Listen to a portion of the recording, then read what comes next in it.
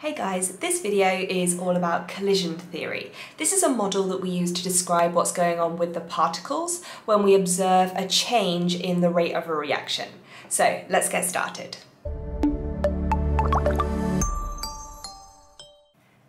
Theory is all about what we need to do to make particles react successfully. I'm defining a successful reaction by saying that when the two reactants combine together to make the products. So in this case, in any reaction, the particles must do certain things in order to react successfully. Number one on this list is that they must hit each other. We say the particles must collide with each other. The second thing is that the particles must hit each other with enough energy.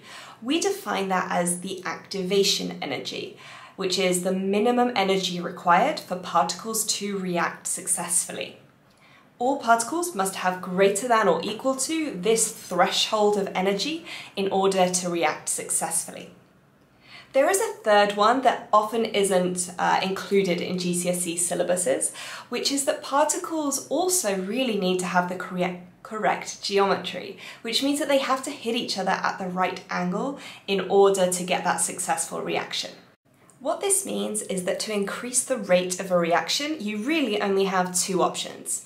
You have to increase the frequency at which those particles collide with each other, or you have to increase the energy that the particles are hitting each other with.